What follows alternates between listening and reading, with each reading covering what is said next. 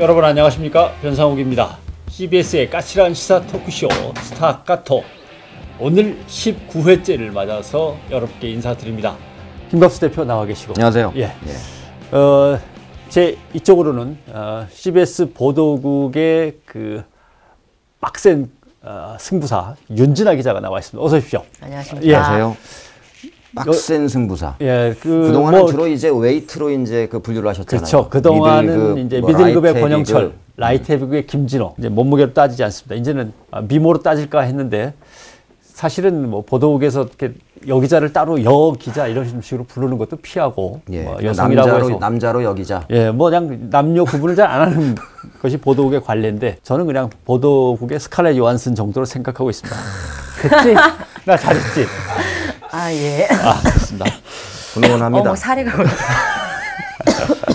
너무 당황하신다니까. 예. 조금 이렇게, 인정하는 분위기라도 괜찮을 것 같은데 너무 당황하시니까 오히려. 자, CBS가 만드는 스타카토 제 19회. 자, 설 연휴를 출발하면서 스타카토 19회도 출발하겠습니다.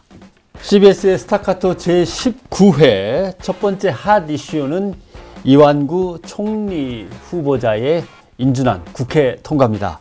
자, 표결을 한번 살펴보겠습니다. 새누리당이 155인, 새정치민주연합이 124인, 찬성이 148, 반대 무효가 128, 다섯 이렇게 나왔습니다. 혹시 그럼 반란표가 몇 표 나왔다고 봐야 되는 겁니까? 윤진아 기자, 정치부 경험을 살린다면. 어, 최소 지금 아까 말씀하셨듯이 새누리당이 155명이잖아요. 그 가운데 찬성이 148표니까 나머지 표는 반란표라고 할 수가 있죠. 새누리당 입장에서는 이완구 국무총리를 만들어야 했으니까. 음. 그렇다면 그 차가 다 반란표라고 볼 수 있지 않겠습니까? 혹시 그러려면 전제가 예. 새누리당 의원들은 전부 다 찬성을 던졌고 음. 어 저기 민주당 민주당이란다 새, 새, 새정치연합 네. 의원들은 전부 다 반대표를 던졌다는 전제가 있으면 이제 이렇게 그런 되는데. 얘기 맞겠죠. 네, 그렇죠. 보도된 바에 의하면 그리고 또 이제 여러분들한테 제가 한번 여쭤본 바에 의하면 반란표가 제법 나왔을 때 이 새롭게 출발한 문재인 리더십이 심각한 타격을 입을 거다라는 그런 두려움이 굉장히 많아서 음, 그 표결에 참여할 거냐 말 거냐를 두고도 이제 감론을 박이 좀 있었고 근데 이제 어, 우윤군 원내대표가 사전에 표 점검을 해보니까 생각보다는 그 저기 뭐냐 어, 반대표로 대부분 다 예, 일치단결, 대동단결하는 분위기가 형성이 돼서 예. 자신 있게 그 들어가자. 그러되 이제 어떤 자, 나름대로 자기들 입장에서는 묘수를 하나 던진 것이 이 충청 표심이라는 것들을 이제 염두에 두지 않을 수 없다 보니까 당론으로 결정하지 않고 자유 투표로 열어준 거죠. 이제 그러면서 어, 우리는 어쨌든 간에 자율적으로 맡겼다. 그리고 충청 의원들한테 대한 나- 나름대로 어떤 배려도 있었던 것 같고 어, 그리고 결국은 이제 결과적으로 그 제법 많은 저 본인들이 참석했던 것보다 많은 반대표가 나왔기 때문에 에, 언론이 대부분 다 평가하고 있는 것처럼 체면 칠에는 충분히 했다. 아, 이렇게 겉으로는 해석할 수가 있겠죠. 박근혜 대통령이 막 45, 50 이런 지지율을 가지고 여당을 갖다 견인해 나가던 것과는 이제 상황이 달라지긴 많이 달라졌군요. 그럼요. 여당과 박근혜 대통령의 지지율이 거의 비슷한 상황에서 그 정도 가지고 뭘 이제 우리도 당으로서 어, 뭔가 할 말 하고 살겠다라고 하는 어떤 좀 빡센 의지의 표현도 가능한 그런 수준까지는 와 있는 것 같습니다. 자, 그러니까 오늘 개각이 어떻게 될지가 굉장히 중요한 개가 거죠. 어. 그러니까 인사를 어떻게 낼지에 따라서 조금이라도 좁힌 올린 박근혜 대통령의 지지율을 계속 끌어올릴 수 있을지가 결정이 되는 거고 또 당청 관계에서 청와대가 어떻게 하겠다는 의지를 개각 인사를 통해서 보여줄 수 있는 거기 때문에 개각이 어떻게 되냐가 굉장히 중요한 거죠. 역시 지금 윤진아 기자가 얘기한 개각의 핵심에는 비서실장이겠군요. 그렇죠. 그 어쩔 수뭐 없이. 김기춘 실장의 경질은 이미 뭐 기정사실화된 것 같은데 후임이 누구냐 이걸 가지고 이제 여러 가지 이제 함화평들이 예, 오르내리고 있는데 저는 그 얘기로 넘어가기 전에 어쨌든 간에 이거 이완구 총리의 처리까지 보- 예, 우리가 좀 정리를 한번 해볼 필요는 있을 것 같아요. 예. 그러니까 지금 어, 이 정부 들어가지고 그 세 명의 총리 후보자가 청문회를 통과하지 못하고 낙마했지 않습니까? 제일 먼저 이제 김영준 후보자가 전관예우 문제라든지 두 아들의 병역 문제 때문에 낙마를 했고 또 한 명이 이제 안대희 후보자가 어, 전관예우의 종결자라는 얘기 들으면서 5개월 만에 옷 벗고 16억이라는 수입료를 받으면서 낙마했고 그리고 이제 문창극 후보자가 어, 일제 시대에 우리가 개몽됐다 이런 역사관 때문에 이제 낙마했는데 그 지난번에 우리가 지난 방송에도 얘기했던 것처럼 그 모든 것들을 다 합친 것보다 훨씬 더 많은 의혹과 문제 제기가 됐음에도 불구하고 이완구 총리가 통과가 됐단 말이에요. 근데 이 이완구 체제가 과연 그 본인이 공언했듯이 저- 청문회에서 책임 총리로서의 어떤 역할을 다할 수 이- 있는 것인가에 대한 의문도 좀 있는 거고 어, 이 총리까지도 이렇게 만신창이가 된 음, 얼- 어떤 의혹들이 지금 끊임없이 이제 쏟아져 나왔었는데 하나도 해결하지 못하고 해명되지 못한 채 네.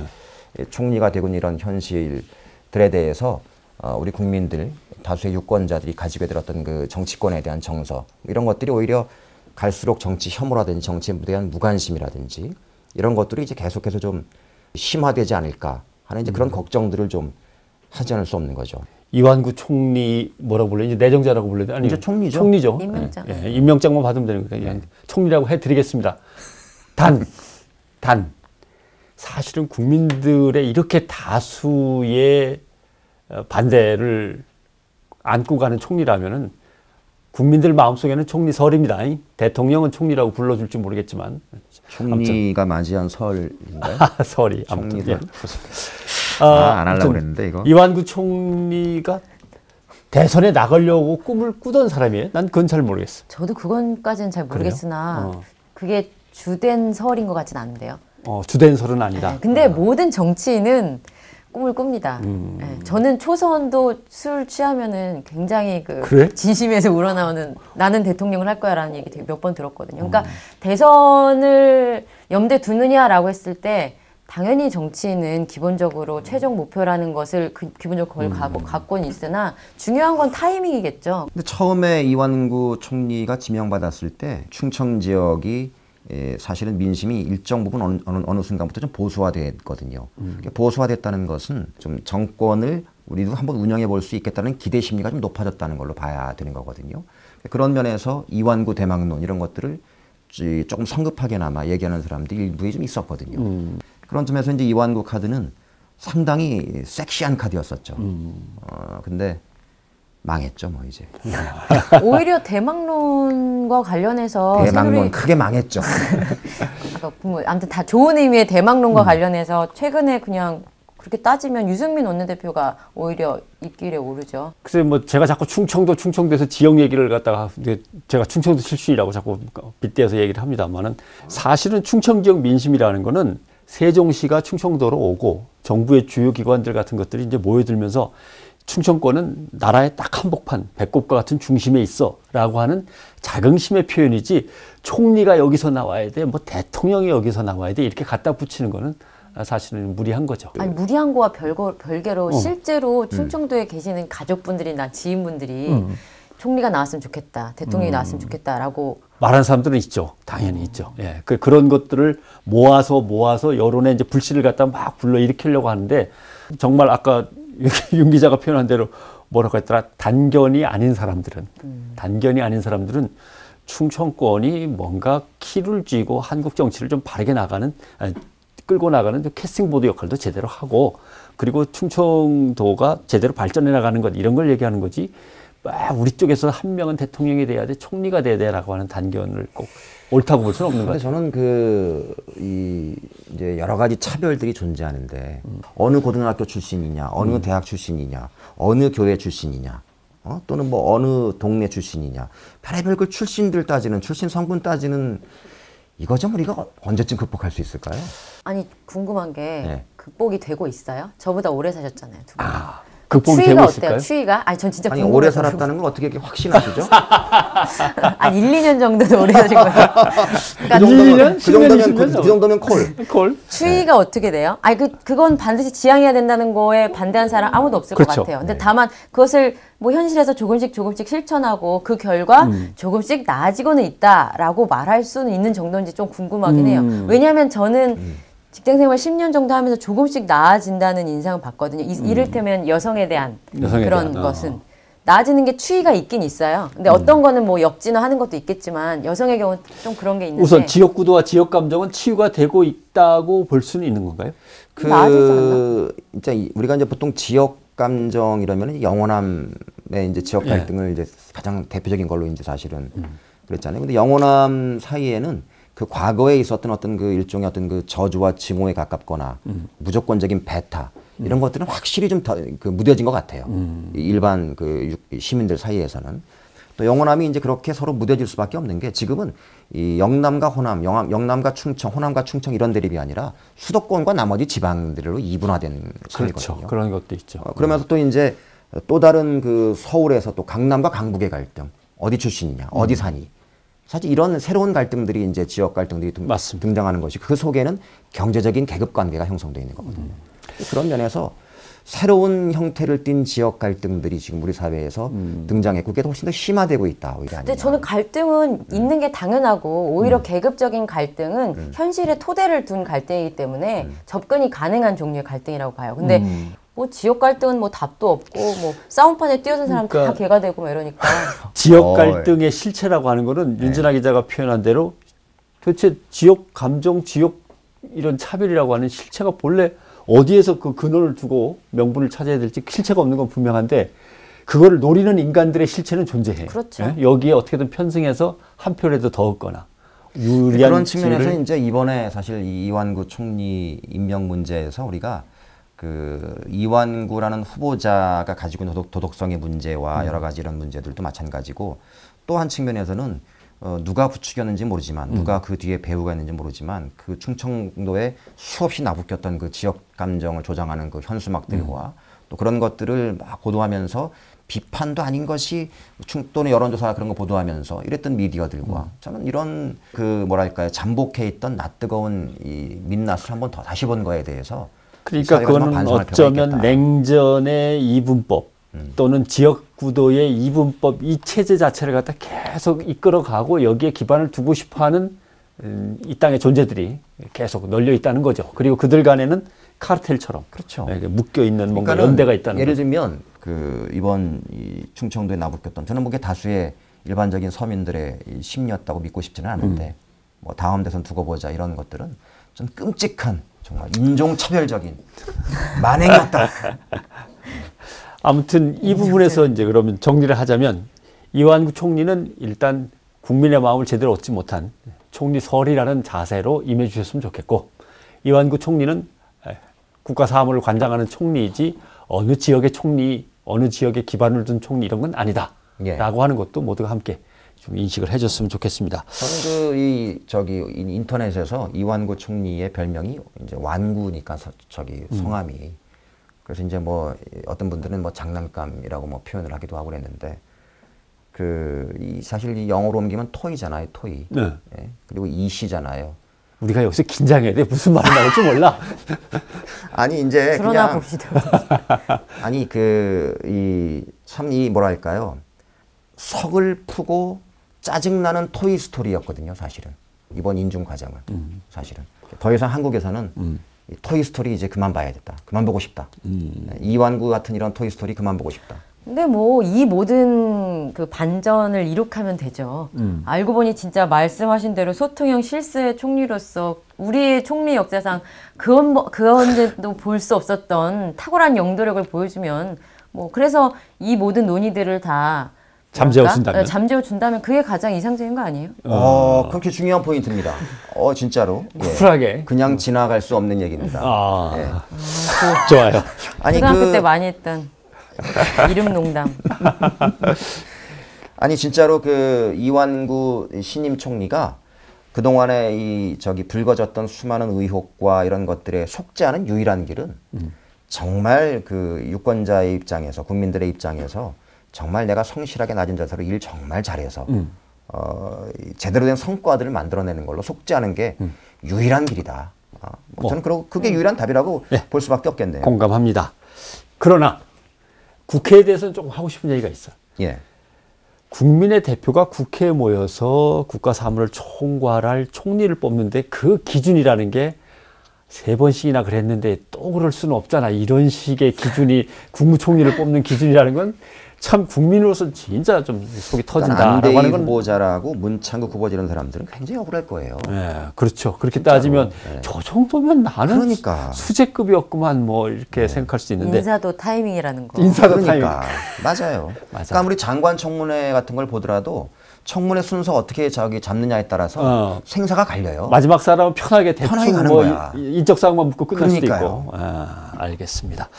자, 이완구 총리가 아슬아슬하게 아, 몇 개의 반란표를 간신히 아, 해치고 나와서 총리에 올랐다라고 하는 말씀을 드리고 그러나 아직도 아, 국민의 지지를 받지 못한 흠결이 많은 총리로서 이제 앞으로 해 나가야 될 것은 두 분께서 지적하신 대로 뭔가 국민의 뜻을 받들어서 책임 총리로서 국정을 제대로 다잡아 나가고 국민을 위해 헌신하는 모습을 보여주는 것만이 속죄의 길이다 라고 하는 말로 제 1차 하디슈 여기서 마치겠습니다. 스타카토 제 19회 두 번째 하디슈는 요즘 사회 곳곳에서 번지고 있는 성추행 논란, 특히 대학가에서 번지고 있는 성추행 논란, 그리고 우리 사회 전반을 지금 또 어지럽게 만들고 있는 여성 혐오, 이런 문제들을 얘기해 보도록 하겠습니다. 자, 뭐 여러 가지 사건이 있었습니다. 제일 시끄러웠던 게 역시 K대라고 알려졌습니다만 국민대에서 벌어졌던 예. 카카오톡방인가요? 대화방에서 벌어졌던 여성에 대한 비하와 폄훼와 혐오와 성희롱과 어떻게 보면 성추행 모의에 가까운 논란들. 그렇죠. 예. 강간 모의를 한 거다. 어? 뭐 이런 표현들이 그러니까 뭐 남학생들이 예. 자기들끼리 이제 막 카톡을 주고받으면서 야 우리 그러면 어느 모임에 가서 네. 아무개를 어떻게 할까라고 그러니까요. 한 거죠. 예. 나쁜 쉐이들 말이야. 그 다음에 서울대 사건도 있었죠. 예, 서울대는 사실 두 개, 총세 개인데요. 세 개?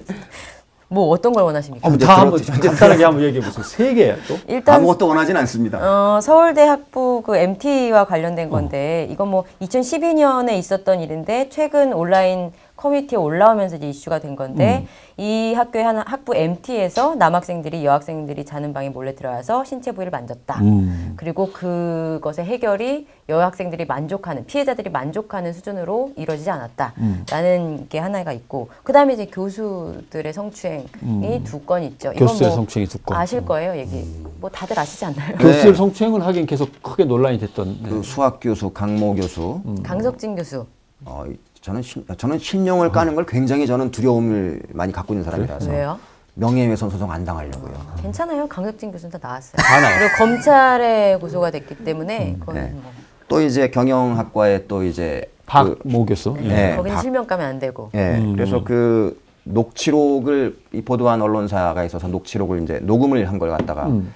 들어봤는데 아주 가관이 아니더군요. 그랬어요. 네. 뭐 저기 나랑 연애하는 거는 어? 가문의 영광으로 알아야 돼. 아니 뭐 둘이 사귄다면 무슨 말이 오가든 뭐 상관하지 않겠는데 이게 지위로 남을 억압하면서 그렇게 얘기한다면 참 답답한 거죠. 덕성여대 사건은 뭐예요? 덕성여대 사건. 덕성여대 같은 경우는 이제 상황이 이렇게 심각한데 그것에 대한 어, 처리가 미흡하다라는 게 사실 문제 핵심 아니겠습니까? 음. 근데 덕성여대 같은 경우에는 총장이 직접 그런 문제적 행위를 한 교수를 음. 직위 해제. 그럼 성희롱 성추행 교수를 그렇죠. 직위 해제. 그리고 경찰에 고발까지 했죠. 네. 오. 그랬다는 데서 좀 의미가 있는 사례로 최근에 소개가 된 거죠. 그럼 지금 서울대는 12년 MT 사건 같으면 그동안 이제 묻혀져 있다가 네. 학, 학교도 묻어놨다가 터진 거고. 학교 측은 그래도 나름대로 음. 그뭐 절차에 따라서 해결했다라고 주장을 하고 있는데 사람들은 아, 피해자 입장에서는 예, 충분하지 않다라고 주장을 하는 그다음에 거죠. 국민대 같은 경우는 문제가 터지니까 오히려 야 그걸 갖다 또 내부 고발로 그렇게 가져가서 사람들한테 알리냐라고 문제가 있었죠. 왜 학교 망신을 시키느냐, 아. 우리 학교 망신, 학교 망신을 시키느냐라는 소리가 내부에서 나와서 그것도 또 논란이 됐었죠. 음. 그러니까는 이제 이런 처리 과정을 보면서 저는 도대체 명예라는 것들이 어디에서 오는 거냐 음. 이런 걸 우리가 한번 고민해 볼 필요가 있겠다. 예를 들면 우리가 학교 폭력 이런 거 이제 자주 터지면 제일 우리가 이제 심각하게 보는 게 그걸 자꾸 감추려 하잖아요. 학교가 음. 쉬쉬하고 이제 그러면서 이제 피해자로 하여금 야 네가 좀 참아 학교가 뭐가 되니 이러면서 이중 삼중의 이제 고통들을 피해자들이 겪게 된단 말이에요. 음. 그리고 그렇게 함으로써 가해자들은 아, 이렇게 해도 별일이 없구나. 음. 이러면서 또 다른 피해자들을 양산하는 게 사실은 문제란 말이죠. 네. 근데 이번 이 이제 이거는 좋은 케이스니까 제가 이제 덕성여대 이번 처리는 그런 면에서 이제 귀감으로 좀 살만하다. 음. 왜냐하면 학교가 먼저 나서서 일벌백계 합시다. 빨리 신속하게 처리합시다. 그래서 총장이 먼저 앞장서서 음. 경찰에 고발을 했다는 것은 그 바람에 오히려 이제 그 많은 네티즌들의 댓글을 보면 그래 이래야지 이러면서 명예가 오히려 어, 권위가 살고 얼마나 멋있어 보여요. 그러니까요. 음. 근데 이거를 왜 S대 예? 이 학교는 그냥 숨기려고 애쓰대. 예? 그 예. 난 무슨 말인가 잠깐. 아니 왜 자꾸 숨기냐고요. 그러니까 학교의 명예가 드, 저기 더럽혀지는 거잖아요. 음. 좋은 대학은 도대체 어떤 대학인 거냐? 좋은 학교는 어떤 학교인 거냐? 음.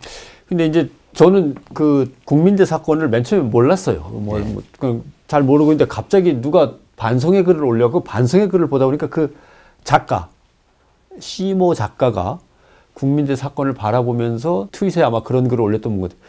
남자들끼리 말이야 자기들끼리 한 얘기인데 말이야 그걸 갖다 밖 으로 아, 내부 그 고발을 해가지고 작가 어, 웹툰 작가가? 네. 그러니까 이게 학- 나이가 나름대로 아직은 덜 성숙한 학생뿐만 아니라 어른들 세계에서도 뭐 하기 교수 성추행이 그런 겁니다만은 여성에 대한 이런 식의 아니 그 나이의 나이가 문제는 절대 그러니까요. 아니에요. 어. 아니 최근에 왜 제가 특정인 뭐 실명을 거론하진 않겠습니다만 그 하이트 맥주 있잖아요. 네.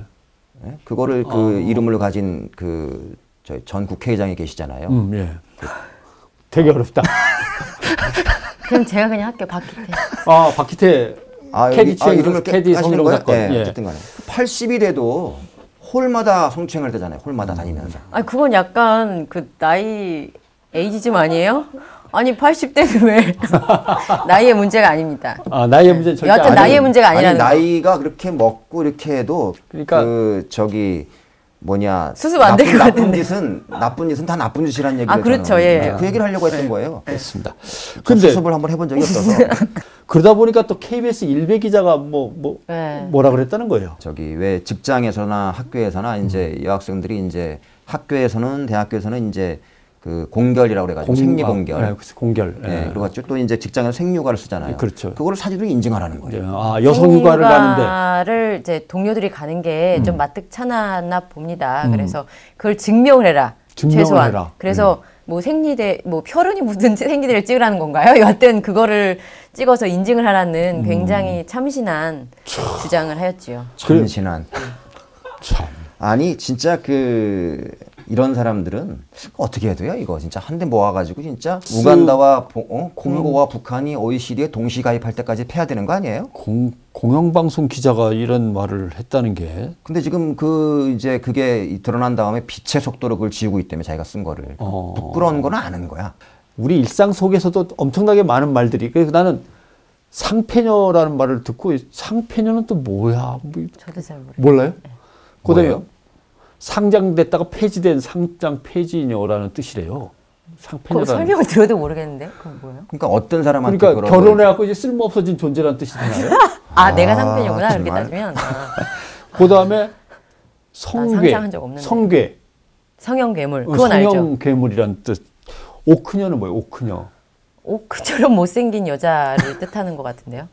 어떤 부족의 이름인가? 그럼 게임에 나온. 오크는 그 뭐야 환타 판타지 소설의 한 종족인데요. 아, 괴물 종족. 괴물 종족이에요. 어, 그러니까 결국 여성을 이제 비하하면서. 못생겼다는 뜻입니다. 예.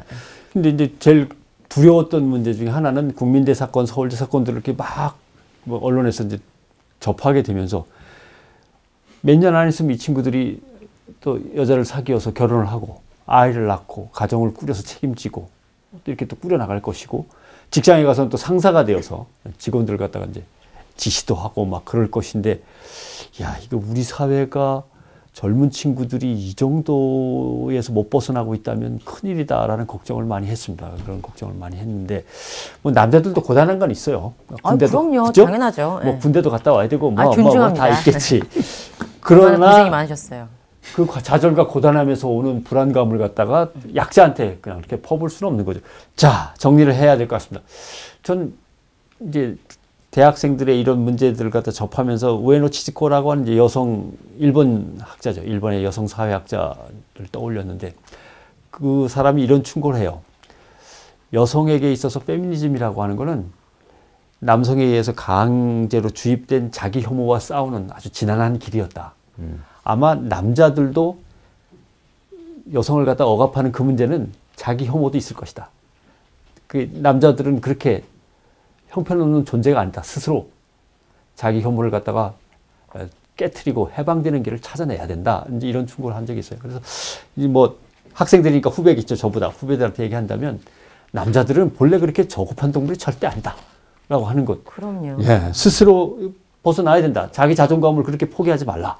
이렇게 얘기하고 싶고 그리고 빨리 일어나서 더 높은 곳을 향해서 같이 가는 걸좀 공부를 해야지 그 한쪽 골방에서 말이야 누군가 더 약한 사람을 찾아내 가지고 심한 농담과 폄훼와 모욕을 줘가면서 키득키득거리고 자기 만족을 갖다 꾀하는 거는 정말 저급한 짓이다 라고 이야기하고 싶은 거죠. 예. 어쨌든 그 저는 뭐 이 성에 대해서 굉장히 그 왜곡된 사고 방식이 만연한 사회잖아요, 우리 사회가. 비단 뭐 남성이 여성한테 가는 뿐만 아니라 아까 우리 시작하기 잠깐 그런 얘기했는데 TV에 나오면 요즘에 왜 여성 출연자들이 남성 MC들하고 같이 앉아가지고는 남성들 젊은 사람들 등장하면은 복근 복근 이러면서 우통 벗기잖아요, 맨날.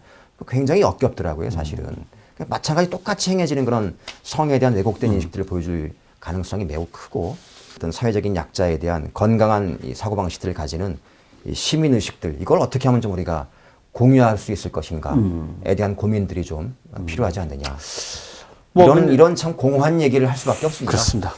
공허한 얘기를 하나 더 붙이자면은 예전에 그런 이야기가 오간 적이 있어요. 사람들이 소설을 읽고 시를 읽으면서 웃고 담론을 즐기고 뭐 여성들이 창가에서 따뜻한 커피를 한 잔 마시면서 행복해하고 어 그게 뭡니까? 그, 런 것들을 갖고 나라를 지킬 수 있습니까? 라고 누군가가 물었어요. 남자들만 군대 간다는 이제 불만이 터져 나왔을 때. 그럴 때 누가 그 얘기를 하더라고요. 그게 나라를 못 지켜줄 수는 있다. 다만 이 나라가 지킬 만한 가치가 있는 나라로 만드는 건 분명하다. 이런 얘기를 하- 하더라고요. 그래서 결국 오늘 우리가 이런 걱정을 하는 게 뭐 어떤 사람은 그렇게 긴 얘기를 갖다 할 것도 아닌 것 같은 데라 할지 모르지만 남과 여가 윤 기자가 지적한 대로 뭔가 어, 동등하게 대접받고 하나의 대상물이 되지 않는 이러한 사회는 우리가 세금 낼 만한 가치가 있는 사회가 되는 거죠. 그럼요. 네, 지킬 만한 가치가 있는 나라가 되는 거고 그렇게 이해를 해주시면 되겠습니다. 자, 스타카토 제 19회 오늘 순서는 여기까지 하고요. 여러분들 설 연휴 어, 즐겁게 잘 보내시고 건강한 모습으로 또 다음 주에 다시 찾아뵙도록 하겠습니다. 여러분 고맙습니다.